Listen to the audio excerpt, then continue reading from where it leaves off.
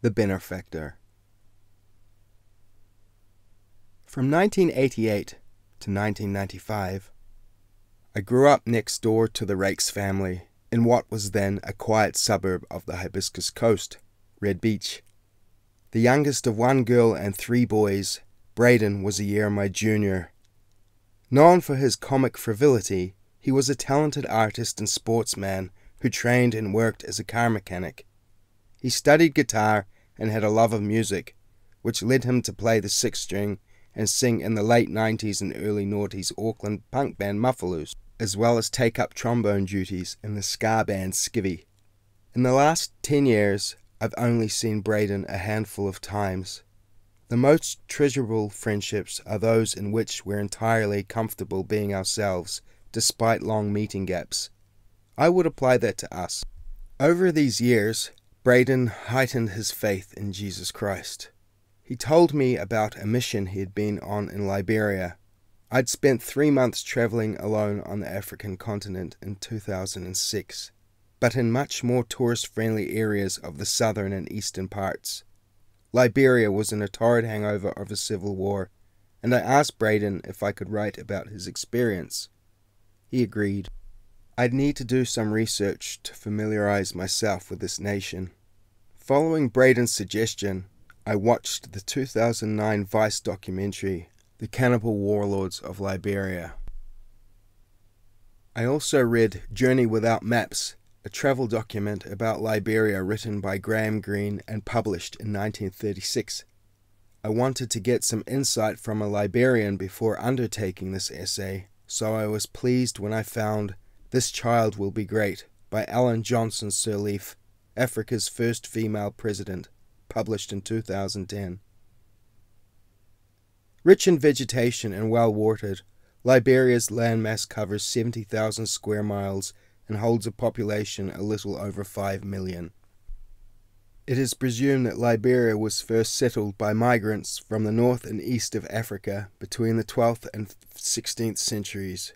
According to Liberian historian Abayomi Karnga, the first inhabitants were the Jina peoples, who were succeeded by the Gola, the Kisi, the Mantaningo, the Vai, the Gbandi, the Kapeli, the Mendi, the Gio, and the Mano peoples, Later came the Bassa, Dai, Grebo, Kru, Kua, and the Gibi peoples. Portuguese settlers arrived in the 15th century and exchanged goods for local Malagueta pepper. The Dutch and English made brief landings and traded in the 17th century. During this time, slaves were transported over the Atlantic to the United States I've looked at various websites and researched historical books and academic essays to obtain further information about Liberia. Numbers are inconsistent. It is impossible to provide entirely accurate details with such varied data, so using what is available, I have constructed a timeline highlighting important events in Liberia's history as well as I can. 1820 Liberia is founded by free people of color from the United States, their transportation funded by the American Colonization Society. Of approximately 4,000 immigrants between 1820 and 1843, fewer than 2,000 survived. 1846, American born Liberian Governor Joseph Jenkins Roberts requests independence while maintaining close ties with the ACS. 1847 Liberia is granted independence. The country prevents takeover from European colonial forces due to funding and support from the ACS. 1926 The Firestone Rubber Plantation and Company is established, leasing over 1 million acres of land for 6 cents per acre for a period of 99 years. 1961 the Liberian Agricultural Company develops a 7,000 hectare rubber plantation. 1980. The minority Americo Liberian regime, which has run the country since its inception, is overthrown by indigenous Liberians. 1989. The first civil war lasts until 1997. A quarter of a million Liberians are killed. 1999. The Second Civil War lasts until 2003. Casualties are estimated to equal those of the First Civil War. With a bit of background, I was now confident enough to speak with my subject. Many thanks for allowing me to interview you, Braden. My pleasure. In 2013, what brought you to Liberia? My trip to Liberia was part of the outreach phase for my DTS with a global Christian missionary organization called Youth with a Mission. They have bases around the world. The base I was involved with and where I completed my DTS was in Herrnhut, Germany. A DTS is a three month lecture phase learning about God and missions, followed by two and a half months of outreach. The school is divided into groups of 20 or so people, including two or three leaders. Following graduation, you're given an option to decide on the locations the schools offer. I chose Liberia mainly due to our leaders simply saying, We have no real plan but to live amongst and love the poorest of the poor, as Jesus would. How would you describe your introduction to the land and peoples of Liberia? We flew from Germany via Belgium directly to Monrovia and arrived around midnight.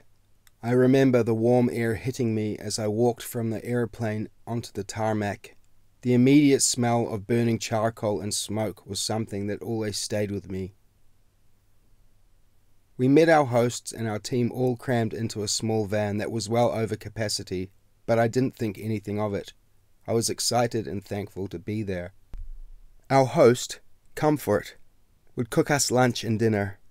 Our diet consisted of chicken, beans, cassava, plantains, and sausage, always accompanied by rice. For breakfast, we'd have bread with various spreads and occasionally eggs and coffee. We'd only ever cook on pans over charcoal. Regarding water, we couldn't drink directly from the nearby well as we'd get sick. Local kids drank from it. We'd collect water from the well and boil it or buy it in plastic bags, which tasted putrid. It was hard in the heat to go without, Often we'd drink Coke or sodas from local stores as they were cheap and easy options to keep hydrated. We stayed in a four bedroom house in a place called Chocolate City. The men stayed in one room and the woman in two other rooms, all in bunk beds. I had some sickness while I was there, mainly stomach bugs that would pass.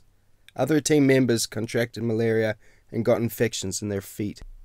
We were all on malaria medication, though some of us stopped taking it as it gave us stomach aches and loss of appetite. We had all our recommended vaccines before departing Germany. The locals were generally healthy. I can't recall too many illnesses apart from some children who were clearly malnourished. I grew close to a young boy with kwashiorkor, a potbelly caused by a lack of good food, where too much fluid in the body tissue leads to an inflated stomach.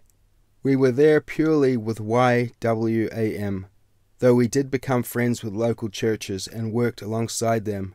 At a basic level, YWAM's outreach is to know God and make Him known. This can be interpreted quite loosely. For some, that meant public evangelism and Bible teaching or church preaching. For others, it meant simply loving the neighborhood kids, playing with them, and teaching them games, etc., after school. Our leaders decided duty allocation and provided the framework. But as we stayed in one community most of the time, it became obvious what the community's needs were, and team members could develop and foster their own connections and friendships. I watched The Cannibal Warlords of Liberia, a documentary with a particular focus on a born again Christian once known as General Butt Naked he is said to have killed 20,000 people, including many children, whom he sacrificed and ate. Can you describe your lunch with General Butt Naked? Pastor Joseph Blahyi, as General Butt Naked is now known, came over to introduce himself and talk about his story and ministry. Following the lunch, we spent a couple of days checking out his ministry, which offers young men from the slums the opportunity to join his construction team. He was a friendly and welcoming guy, happy to share how God had turned his life around. Can you list and describe your most intense interactions with locals? One night we heard a young boy next door screaming as we were cleaning after dinner. A team member had become friends with the family and went to investigate.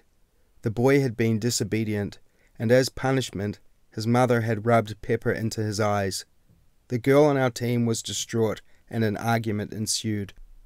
Our local hosts reacted as though this was normal and advised us not to get involved. I became friends with a group of older teenagers and young university students in the neighborhood. The first time I met them, one of the group came up to me afterwards and nonchalantly said, I killed many people in the war, and I want to repent.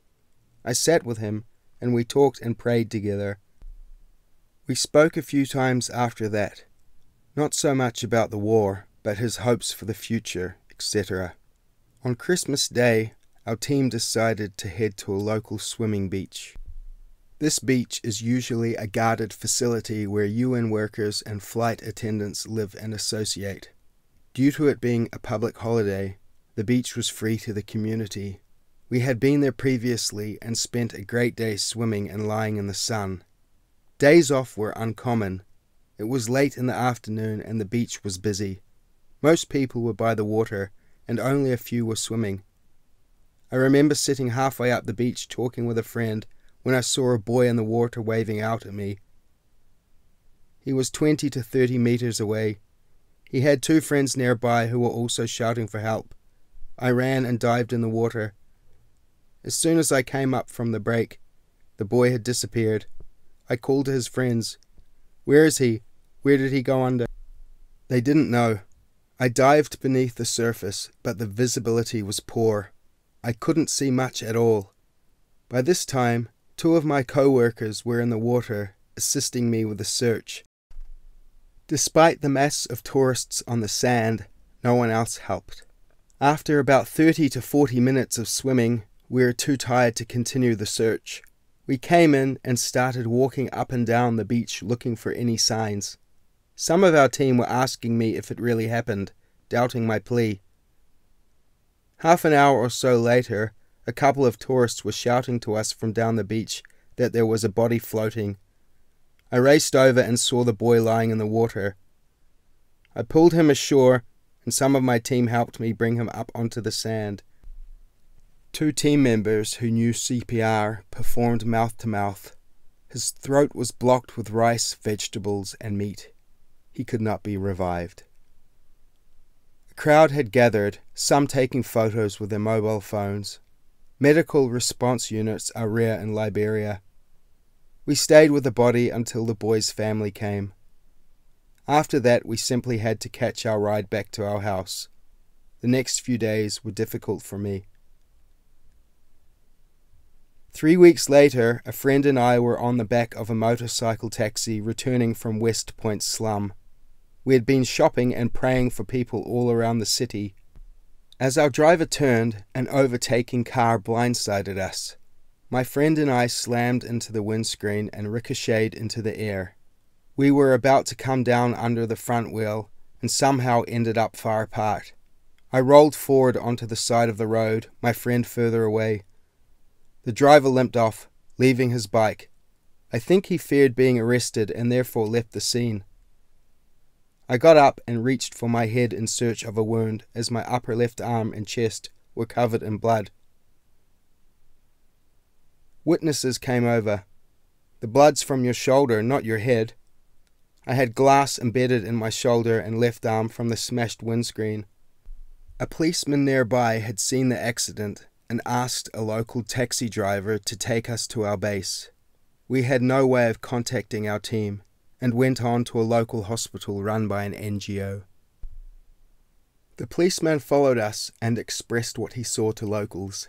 These crazy white people flew through the air and landed on their feet. They were so strong, like martial arts, like Lionel Messi. I had a swollen ankle and scratched up arm and shoulder. My friend had a bruised abdomen and a few cuts. We were so thankful to be alive and remained in a quiet daze for a week or so. I felt so close to God. My friend and I began to rise early to pray and read our Bibles. It was oddly one of the best parts of the trip, as I realized how precious life is and that it could have been so much worse. You told me you had a special admiration and love for Liberians and their attitude towards life. Can you sum this feeling up?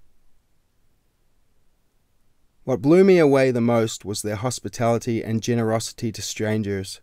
Often walking off the beaten track down a sandy path, a voice would call out, White man, obviously to get my attention. Not in a bad way, but this became a normal occurrence wherever we went. Liberians would invite you into their home to learn your story and share a meal while revealing the history of their land. The people of Liberia were very welcoming at times, almost overwhelmingly so, a good kind of culture shock. The longer time goes by, the more I realize how special the experience was. I miss my team, I miss the smell of burning charcoal, the sight of chatting families and friends constantly barbecuing outside, the smoky West African sunset, the smiles and greetings, and the warm nights and bright stars following the disappearance of frantic bugs late in the night. I miss the quiet. Are you aware of any major positive or negative changes in the country since you were there in 2013? Ebola hit in 2014 after I left, I could still contact locals and help out directly via money transfers as prices for goods were inflated and trading in the country was restricted. The stories about Ebola ripping through West Point were horrific. I contribute financially to this day. I support people I met there with school fees, Christmas gifts, ministry help, etc. I believe it's important to continue the relationship with those people we were involved with. Otherwise, I'd see the trip ultimately being a wonderful experience, but nothing more, and not really fruitful.